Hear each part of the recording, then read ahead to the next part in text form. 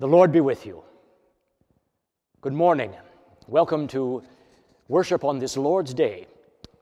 This Sunday marks the beginning of a new liturgical year with the first Sunday in Advent. This liturgical year B, as it is known, features the Gospel according to Mark. And we are grateful this morning to have as our guest preacher Aaron Guzman the interim chaplain and interim director of religious and spiritual life at the College of Wooster, who will be bringing us a reading, a lectionary reading from the Gospel according to Mark. During this season of Advent, we will be featuring families and couples and individuals lighting their Advent wreaths and bringing us the Advent liturgy from their own places of worship. This particular Sunday, is also our Pledge Sunday, the start of the stewardship campaign and the pledging of the budget, church budget, for the year 2021. Uh, many, most of us, all of us, I hope, have received pledge cards in the mail, and you are invited to mail them in uh, to the church office in the weeks to come. Now, normally on Pledge Sunday, during our time of receiving the offering, we would all come forward, and there would be a basket here in the center of the chancel, and we would present our offerings and our pledge cards in the basket, and then have a prayer of dedication. Obviously, we can't do that this year. There is no basket, but I do invite you to pray with me now as we dedicate to the work and ministry and functioning of First Presbyterian Church in the new year. Let us pray. Gracious God, you have come close to each of us. You have extended to us your own special love and given to us such special gifts. Thank you, God, for these. Thank you for all the other gifts that are present in these people who are praying with me today. Together, we are a gifted people. You have given us the gift of our church building for a purpose. It is to be used by us to serve the needs of others. Thank you, God, for the faithful generosity of this congregation. Give us courage and confidence to continue the work we are called to do so that we may share these gifts of stone and mortar and ministry with all your people in this place, in our community, and in our world. Open our eyes and hearts to those we meet. Help us to see their need and to show your love. Gracious God, we go as your servants grateful for your generosity to us and ready to touch others with your love. Amen. Let us now prepare our hearts to worship God. Hi, everybody. I'm Elizabeth Stockton Perkins, and I'm here to remind you that there are only two weeks left until December 13th when the fundraiser concert that Scott, my brother, and I put together goes live. We are raising money for Presbyterian Disaster Assistance, and if you make a free will donation, you can secure your ticket to the virtual concert. Thank you so much to everyone who's donated so far, and if you're interested in participating and making a donation, all the information is found in the bulletin and also in Tower Tidings. Thank you so much for your support and get excited for December 13th. Hello, First Presbyterian Church family. It certainly has been a while since we've seen each other. My name is Wes Davis, and this is our family. There's Nora and Lillian, and little Oliver, and Sarah, and Eliza is there behind the camera. Thank you, Eliza. When Sarah and I first moved to this community, uh, we were welcomed by her extended family, uh, who's been living in Wooster for generations and generations. And here we are at her grandmother's farmhouse. Um, the thing that we didn't have when we first moved to town was, was any place to call a church home. And it took us a while to find uh, First Presbyterian, but when we did, we knew that uh, it could be a church home and a congregation that would help us uh, grow and, and grow in we could grow in faith and, and it would be one that would nurture our family. And we certainly have felt that in the, the more than uh, 10 years that we've been attending. I've enjoyed getting to know many uh, of you in the congregation through my work on faith and practice, nominating, now faith and nurture, uh, and even serving as a session member uh, just beginning this summer. Um, certainly, my kids enjoy Sunday school and all those that they interact with, uh, you know, in their early uh, early years of faith, and, and, we really appreciate all the work that, that goes into that Um, the thing that I found uh, most interesting about this congregation is the many talents and, and gifts that, that you all that you all have. Um, and I, I continue want to continue to encourage you to give of your time, your talents, and your gifts to support the work of First Presbyterian Church. Um, and I just want to say thank you to our staff for continuing to provide meaningful worship worship for all of us. Uh, those of you who haven't attended in person, and, and certainly those who are uh, worshiping at home. Uh, we really appreciate all the work that, that has gone into to providing that. Um, we look forward to, to worshiping with you uh, again when it's safe as possible. Thank you so much. Bye. The service music for this first Sunday of Advent comes primarily from one of my favorite composers, César Franck, who was born in Belgium in 1822 and died in Paris in 1890. He spent the bulk of his life at Saint Clotilde in Paris and also taught at the Paris Conservatory for many years. These five Noels in the prelude are from a set of 59 pieces that Franck collected very late in his life, uh, which are intended for use by the French harmonium, which is uh, France's equivalent of our reed organ or parlor organ. It often resided at the front of large uh, French churches and could be used with the choir or for smaller services. In the postlude, uh, Franck pulls together several of the themes from the various Noels and presents them as a sortie, or literally exit music. The musical offering today is an anthem by our choral scholars, Carol of the Advent, or better known as People Look East, arranged by Philip Dietrich. I have Carolyn Rice to thank for introducing this anthem to the choir and to the church in my medical leave three years ago in uh, an interesting case of it being a small musical world, I happen to know Philip Dietrich from my high school years when he ran a wonderful uh, choral program at Ohio Wesleyan University for high school students. And many of his anthems and choral arrangements have made it into various choir repertoires that I've presented over the years. I hope you have a happy Advent. I can't imagine a year where a turn of the page is more welcome than this one. Thank you.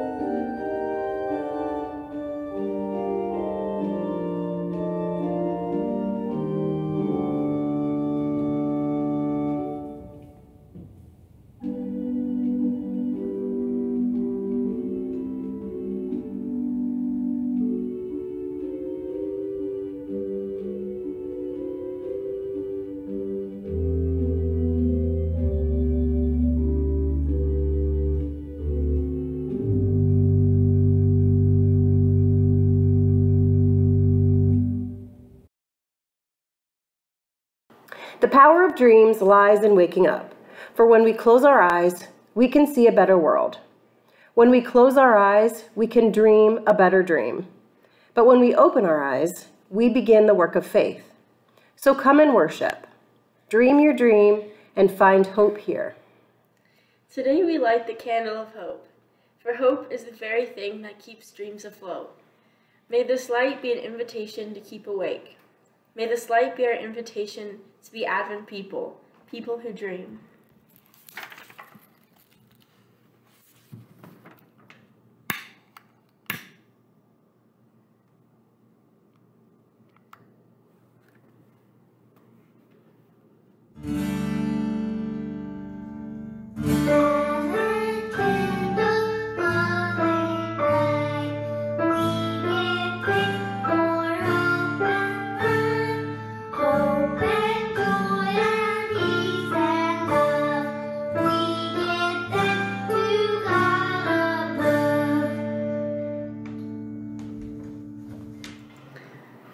Please pray with us our prayer of confession.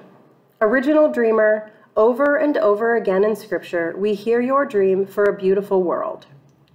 We hear your dream for peace and reconciliation. We hear your dream for harmony and togetherness. We hear your dream for community and hope. We hear your dream, and yet we do not open our eyes.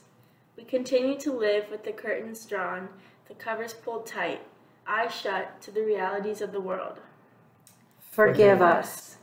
Kindle a hope in us that will burn through the darkest nights. Give us the strength and the will to keep awake in this sleeping world.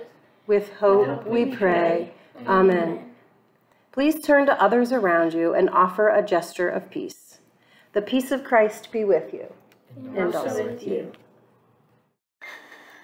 Hello, everybody! Today is our very first Advent Sunday, and each week we're going to share the Christmas story with you in a little bit different way.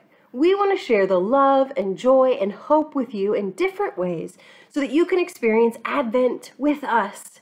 And so today, Hudson is here with me, and we're going to share a story about Gabriel.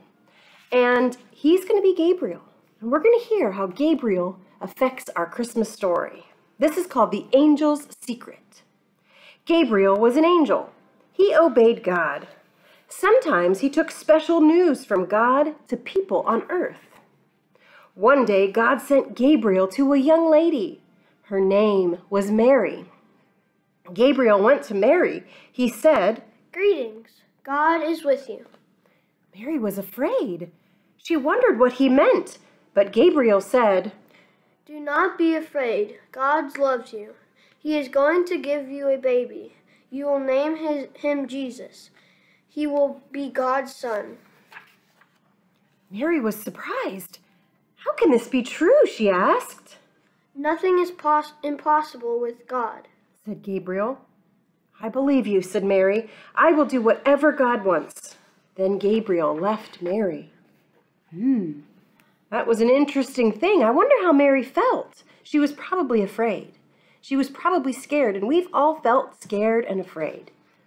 But we know that Jesus comes at the end of this story, and we know that Advent ends on Christmas morning when Jesus is born, bringing us hope and love and joy and peace. Let's pray. Dear God, thank you for the story, for the angel, for Hudson, and all the other boys and girls out there that are getting ready for Advent, getting ready for Jesus' birth. Let us find hope today and throughout this week. In Jesus' name we pray. Amen. Amen. Let us pray.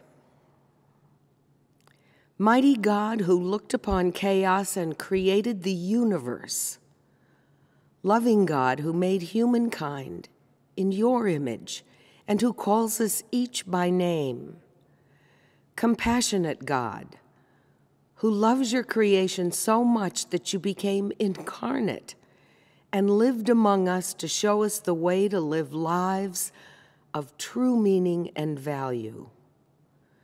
We give thanks for your might, your love, your compassion. This is our season of thanksgiving and anticipation, O Lord.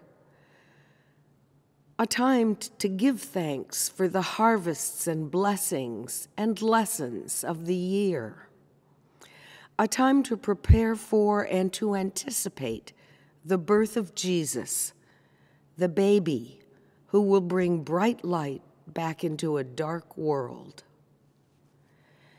But we confess we find thanksgiving and anticipation to be difficult now. The year has upended itself and us with it. Too often it seems as if darkness surrounds us dark days, dark news, dark thoughts. Unheard of loss of life, jobs and paychecks lost, businesses teetering on the brink, lives teetering on the brink and all of this misery encompassed by relentless partisan politics at home and abroad. Remind us, O God of light, that you created that same light in every one of us.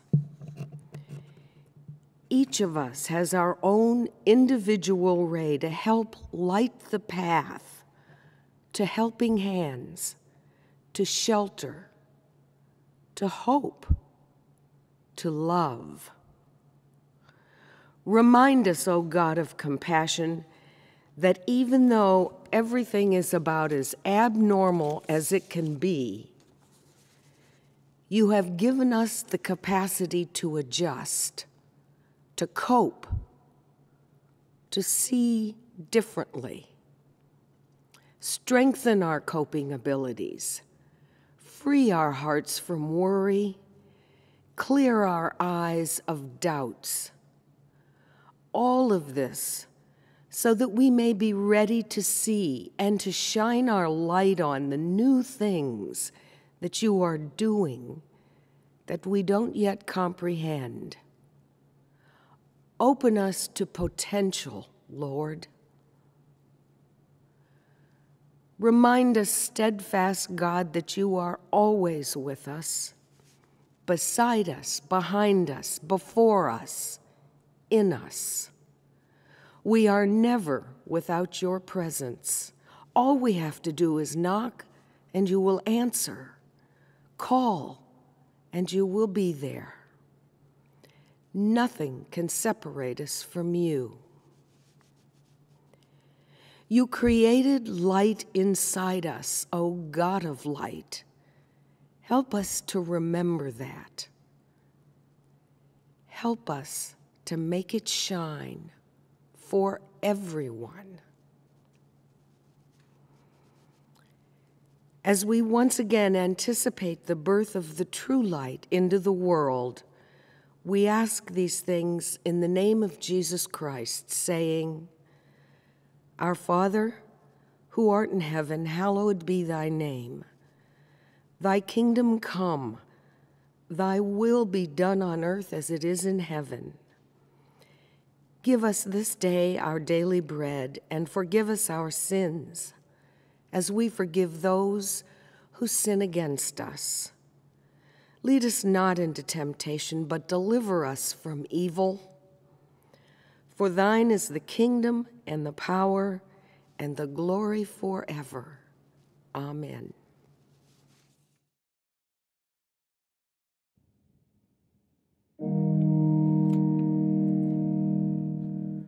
People look east, the time is near of the crowning of the year. Make your house fair as you are able, hearth and set a table. People look east and sing today. Love, the guest is on the way. Furrows be glad, though earth is bare. One more seed is planted there. Give up your strength, the seed to nourish, that the flower may flourish. People look east and sing today. Love, the rose is on the way.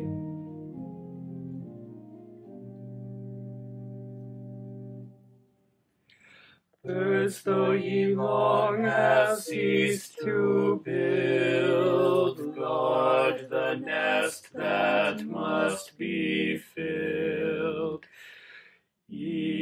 Even the hour when wings are frozen before fledging time has chosen. People look east and sing today. Love the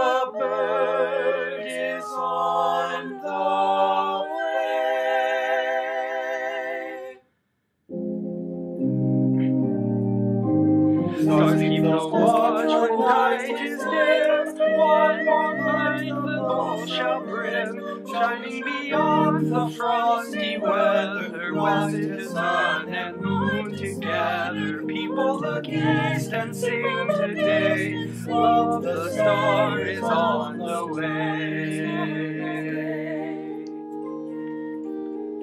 Angels announce to man and beast, Him who cometh from the east. Set every peak and valley humming with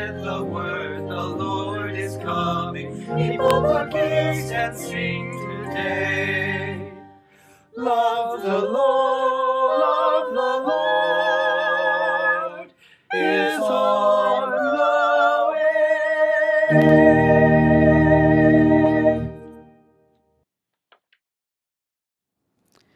This morning's scripture reading comes from the Gospel of Mark, chapter 13, verses 24 through 37. But in those days after that suffering, the sun will be darkened, and the moon will not give its light, and the stars will be falling from heaven, and the powers in the heavens will be shaken. Then they will see the Son of Man coming in clouds with great power and glory. Then he will send out the angels and gather his elect from the four winds, from the ends of the earth to the ends of heaven. From the fig tree, learn its lesson. As soon as its branches become tender and puts forth its leaves, you know that summer is near. So also, when you see these things taking place, you know that he is near, at the very gates. Truly, I tell you, this generation will not pass away until all these things have taken place. Heaven and earth will pass away, but my words will not pass away. But about that day or hour, no one knows, neither the angels in heaven, nor the Son, but only the Father. Beware, keep alert, for you do not know when the time will come. It is like a man going on a journey when he leaves home and puts his slaves in charge, each with its work, and commands the doorkeeper to be on the watch. Therefore, keep awake, for you do not know when the master of the house will come in the evening, or at midnight, or at the cockcrow, or at the dawn, or else he may find you asleep when he comes suddenly. And what I say to you, I say to all keep awake. This text may seem like a strange one to receive on a first Advent Sunday.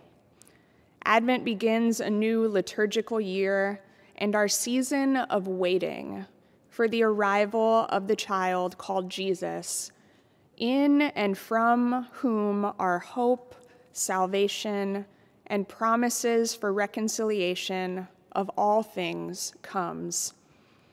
It's supposed to be a season of wonder and joy. It's supposed to be a season of invitations to express love, find harmony, and strive for peace. In a way, Advent is supposed to be a season of all the things that in 2020 might be incredibly hard to find, feel, and express, at least not in the ways that we've always known.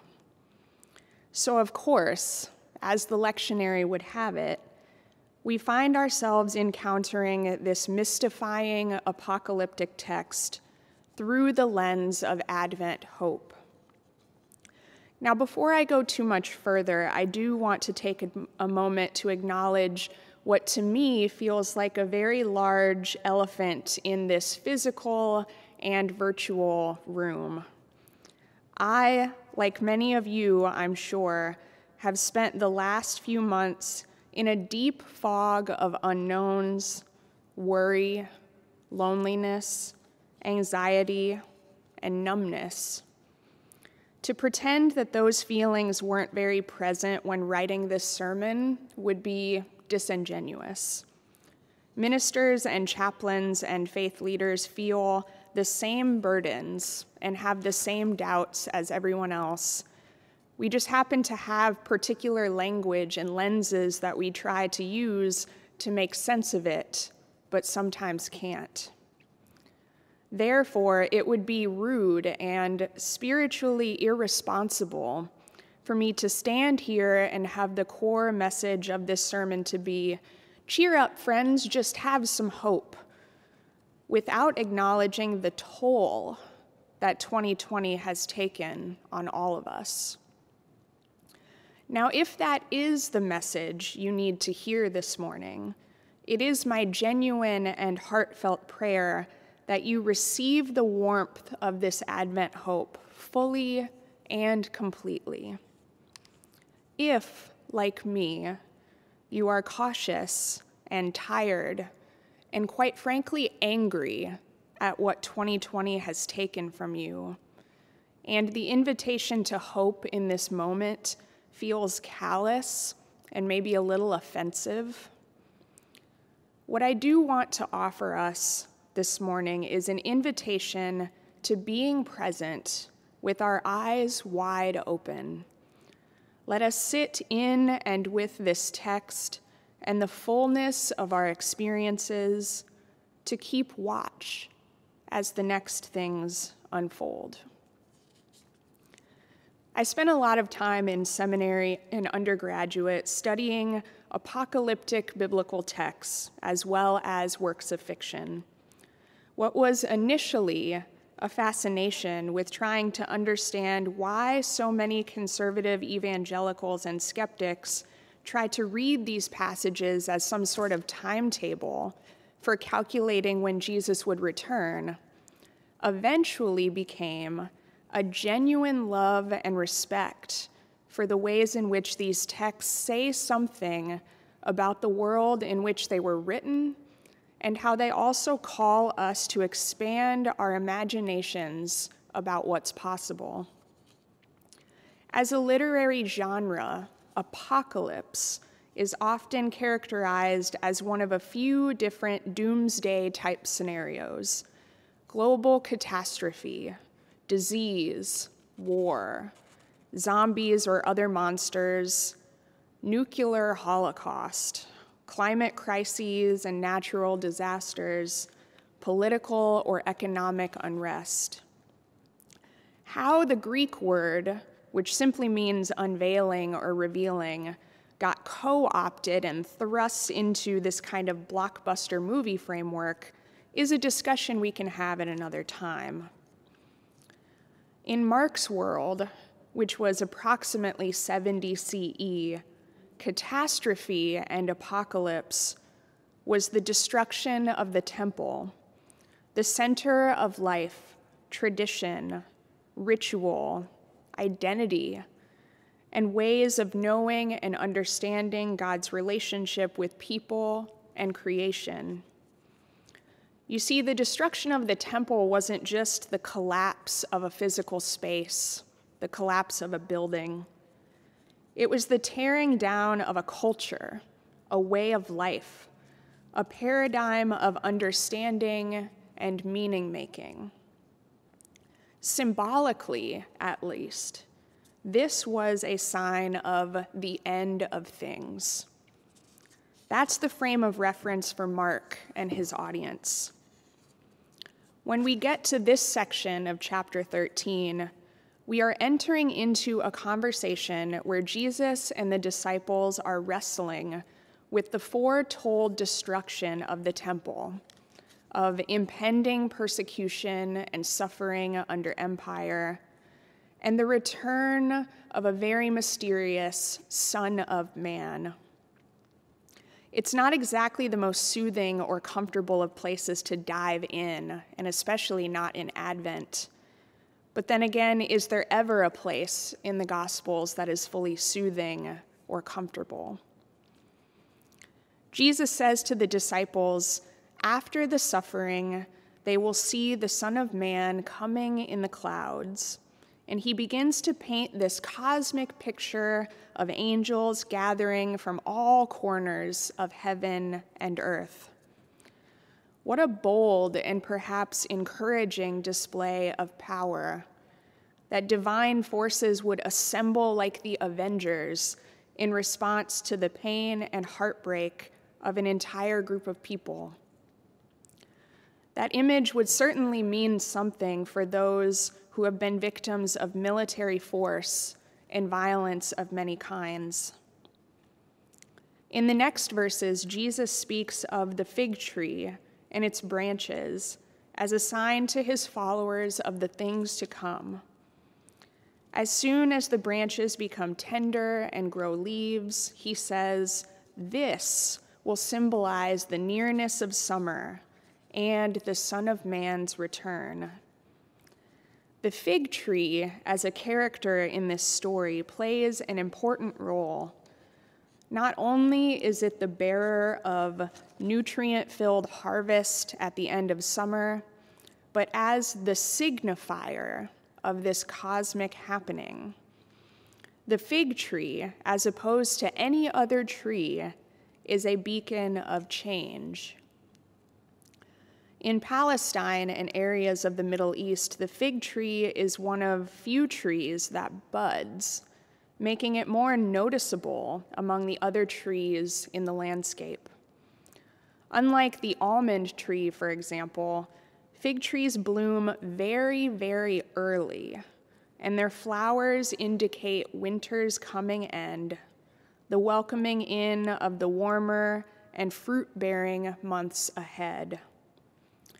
The fig tree is the first harbinger of summer, of its bountiful and sweet tasting harvests, and ultimately the coming of change. This metaphor would have been very salient to help the, the disciples understand Jesus' words though I can't say for sure if they would have been content in their waiting and watchfulness.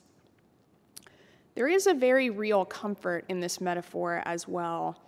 If you are familiar with growing seasons, you can anticipate when the shifts in growth will occur.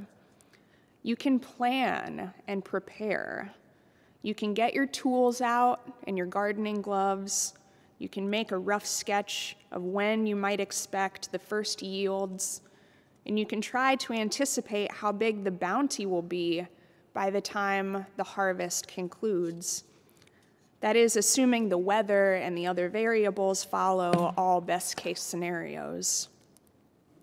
For those of us who are anxious by nature and prefer to have a plan, the notion of being able to see the familiar signs of the seasons changing and adjust accordingly is something that does offer a hint of peace in times of uncertainty.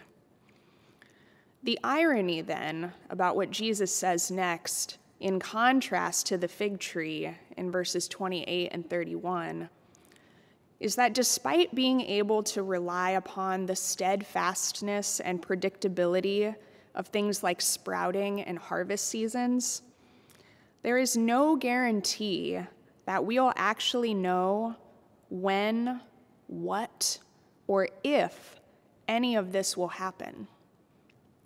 So, just to recap, Jesus spends all of his time talking about the suffering and persecution, the Son of Man's return, and signs of things to come, but then leaves us with, but actually, no one really knows. Just be sure to keep watch and stay awake.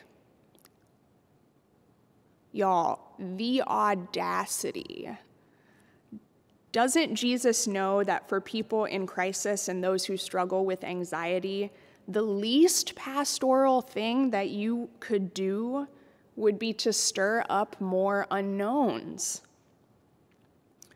And the frustrating part is, Jesus is actually right. We don't know the timetable. We don't know when all will be revealed and resolved. Even though it would be nice to have a clear roadmap for the next stretch of the journey ahead, we don't get that from this text, or arguably any other text in the biblical canon. Advent is one of my most favorite times of the liturgical year. Not because I've always had pleasant memories associated with the lead up to Christmas time, but because I've always been more drawn in to the winding path of the journey rather than being called speedily to the destination itself. Advent, much like the season of Lent, is about preparation and reflection and intentional practice. It's an invitation to recalibrate our understandings of when and where and how and why we are in the world. This very complicated, messy, and hard place where we find ourselves. What's been most difficult for me these past months of the pandemic has not been my workload and caring for students in isolation and quarantine. It hasn't been getting COVID myself or spending all of my time at home away from the people I love and care about. The most difficult part has been the choice to wake up every day and actually practice hope. It's not something that comes naturally to me, despite being a devoted student of theology and of this tradition called Christianity, and having elpis, the Greek word for hope, tattooed on the inside of my wrist. Hope is a spiritual discipline, and in 2020, hope has maybe felt like a daunting and tiring task. It feels like every time I've tried to hope, there is always something ready and quick to snatch it away. Sometimes it's heaviness or frustration, sometimes grief and unfulfilled desire. I know this isn't an uncommon experience. Many of us have been in this very same place and dwell there right now.